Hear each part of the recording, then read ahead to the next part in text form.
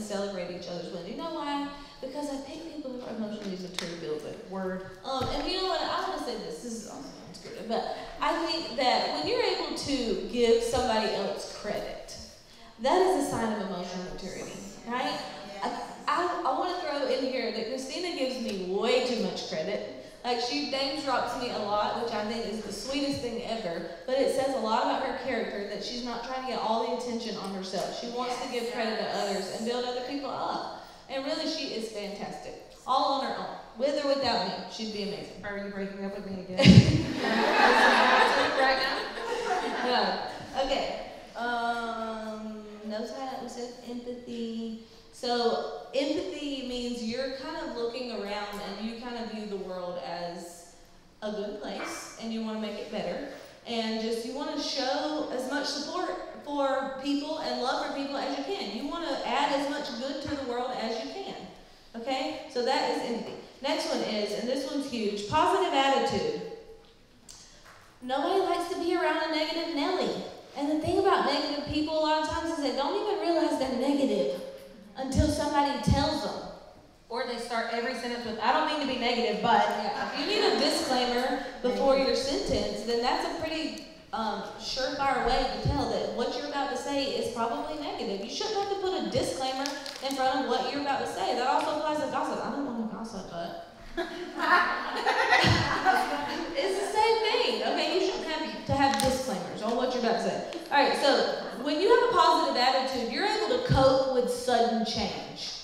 And change is hard. It's also inevitable. Guys, our company has, I've been with Plexus seven years, and I can't even count how many changes the company has gone through. Our website's changed, our products have changed, our comp plan has changed. Like, we've had a lot of changes, right? And you leaders have to adapt to change. You're not going to get away from change. If you refuse to adapt to change, you will be stuck. And so, keeping a positive attitude during changes, some people are very averse to change, um, and some people handle it well. But every leader has to be able to adapt to change. Just know that is part of emotional maturity. Um, and then keeping a positive attitude about the changes in front of your team, especially, that's so important, guys. Your team looks to you like you are the President of the United States. I mean, the president could make a facial expression and it affects the stock market. That's how much influence he has. You, you are like that to your team. If a change comes about and you flinch or you have a negative comment to say about it, then your team is going to be the exact same way. I'll even go so far as to say you, they're watching your facial expressions on team calls. If you're linked in and engaged in learning something, so are they. If you're disengaged and scrolling mm-hmm. on your phone, so are they. So are they. Mm-hmm. They're watching every single thing that you're doing, and if you're not on purpose adding positive value, by default you're subtracting. Yeah, agree.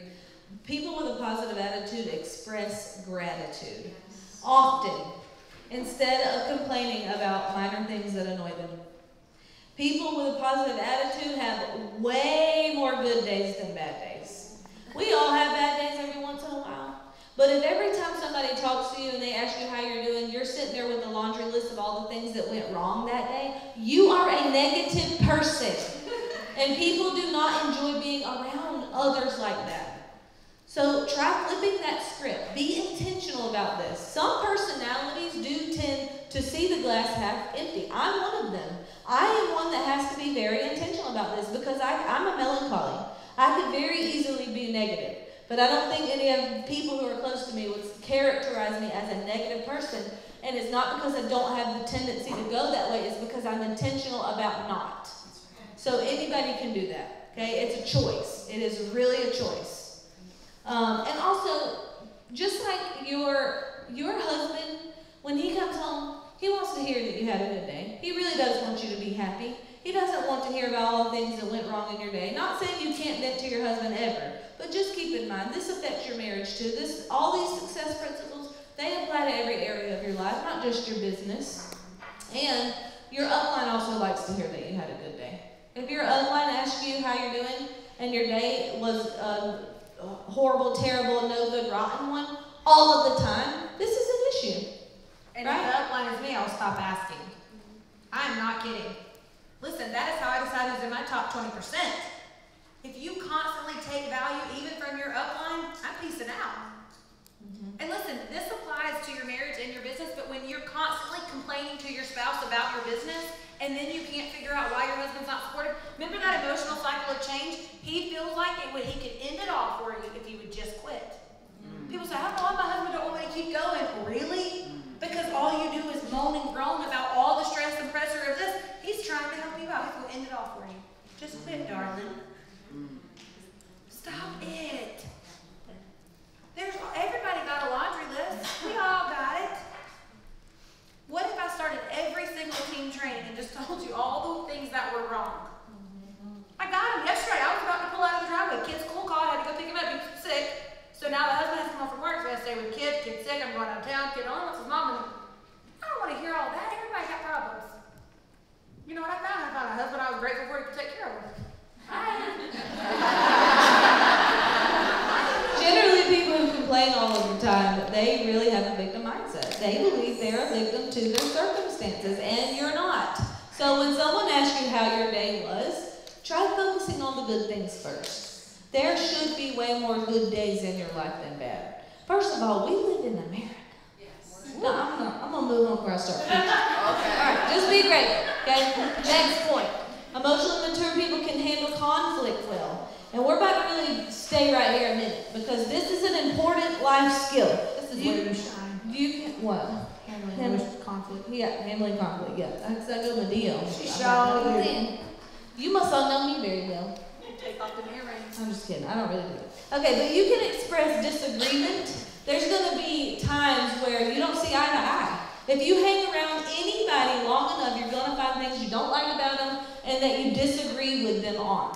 It's inevitable, okay? Me and Christina do it all of the time. But the reason why we have such a close relationship is because we have open communication and we can approach one another without the other one getting offended. We're very respectful to one another. We're open to the feedback and we love each other, right? So you can communicate and have disagreements without being disrespectful, without getting emotional or angry or yelling or insulting or gossiping, even worse. Okay? So people that are emotionally mature, they know how to handle themselves well in a conflict.